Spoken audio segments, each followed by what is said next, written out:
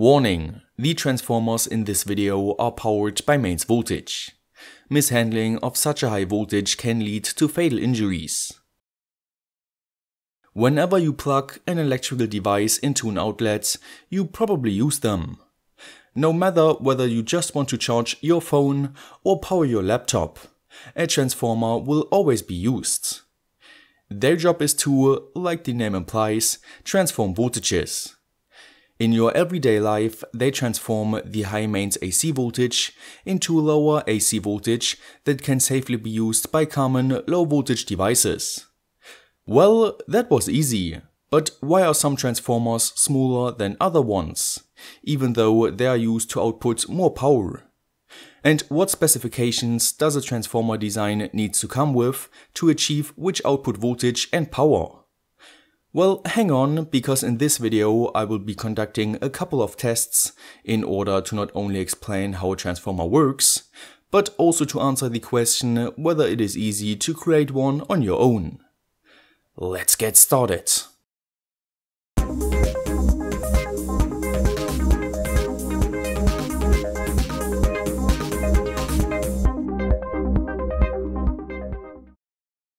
This video is sponsored by JLC PCB, who offer a super simple Gerber file upload feature, online PCB viewer to double check your PCBs, an unbeatable price and super fast delivery times.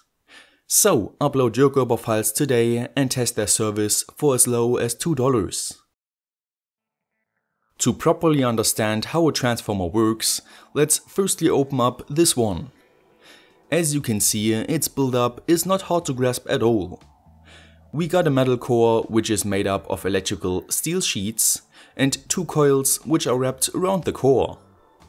To keep it easy to understand though, we can simplify its structure to a diagram like this, with the mains voltage primary coil on the left side and the lower voltage secondary coil on the right side.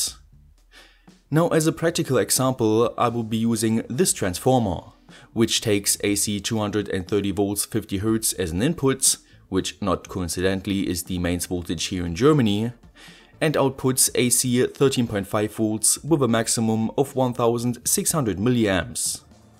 So by connecting mains voltage to the primary coil, which you can pretty much always identify by its high resistance compared to the secondary coil, we can measure around 15.4 volts AC RMS at the secondary coil.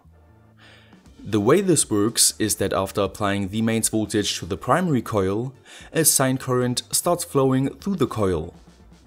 As you might know, when current flows through a conductor, it creates a magnetic field with a magnetic field strength, magnetic flux density and magnetic flux.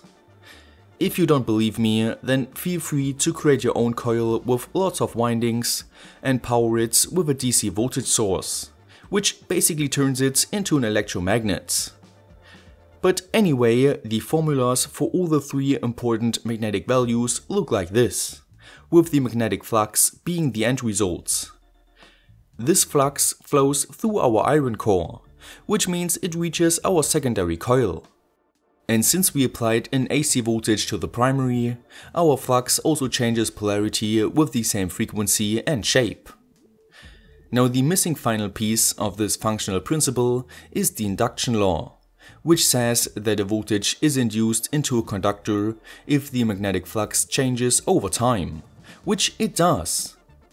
So the induced voltage into the secondary coil is our output voltage, which can ideally be calculated through the number of turns of the primary and secondary coil.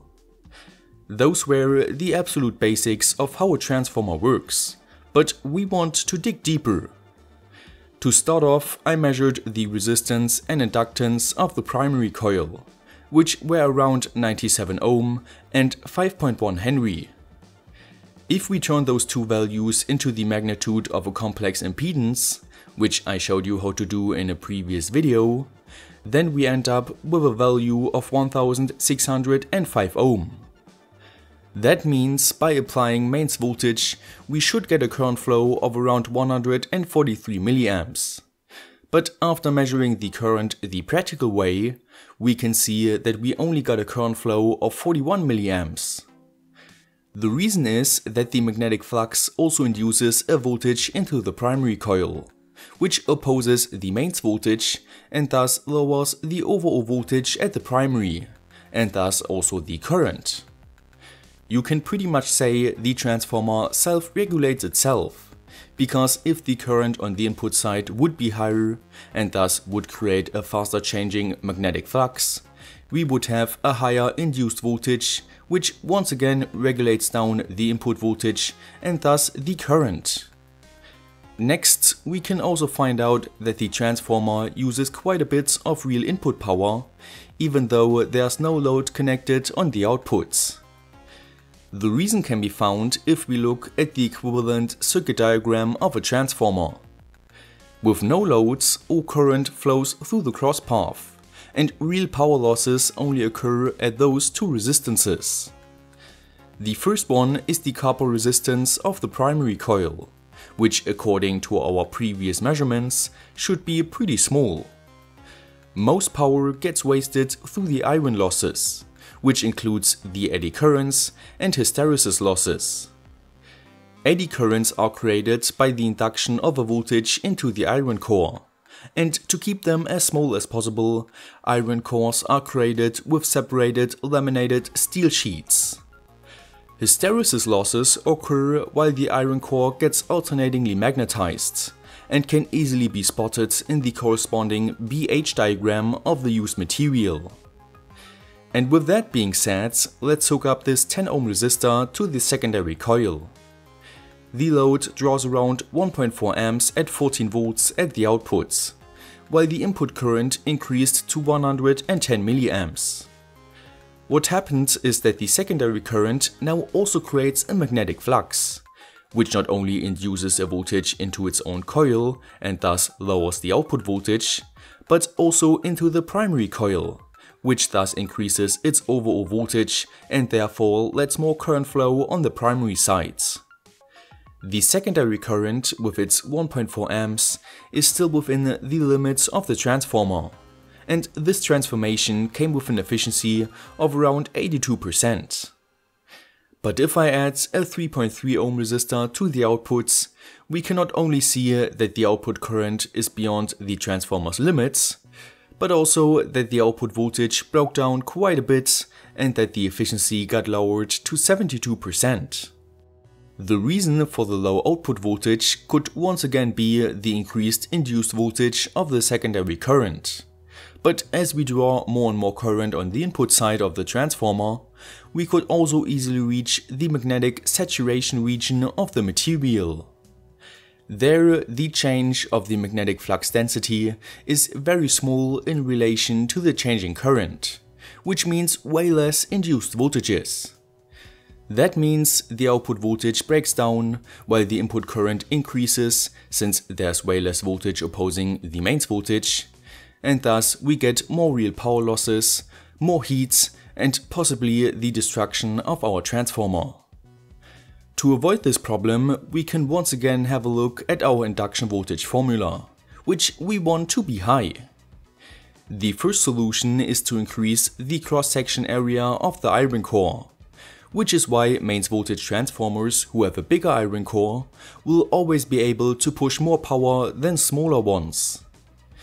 The other practical solution is to decrease the time, or in other words, increase the frequency. Which is why switch mode power supplies, which use a frequency of for example 30 kHz, can be built with such a small cross-section area. But then again, the hysteresis and eddy current losses increase proportional with the frequency, which is why their material is made up of ferrites, which are less conductive. A disadvantage of ferrites though is their smaller maximum magnetic flux density of around 0.5 Tesla, while electrical steel sheets can reach values of around 1.5 to 2 Tesla. The last important property of a transformer we have to talk about is the leakage flux, which if too high can lower the output voltage of a transformer substantially. That is also why we use iron or ferrite cores with a high magnetic permeability to basically keep the magnetic resistance low in order to force most of the magnetic flux through them. But you can learn much more about this topic if you watch my wireless power videos. And with that being said, you are now familiar with pretty much all the theory and formulas you need to design a basic transformer. Which leads to the question whether it is easy to make your own. Well, if you can get your hands on electrical steel sheets that come with proper documentation, then there are handy formulas to calculate all important parameters of a transformer, which means it is pretty easy. But since the core material is often not that easy to find, it can be quite hard to reuse an old transformer core, which I had to experience by myself while creating this video but I will be talking about creating a DIY transformer and even a 3D printed one with ferromagnetic filaments in the second part of this transformer adventure video series. Until then, don't forget to like, share, subscribe and hitting the notification bell. Stay creative and I will see you next time!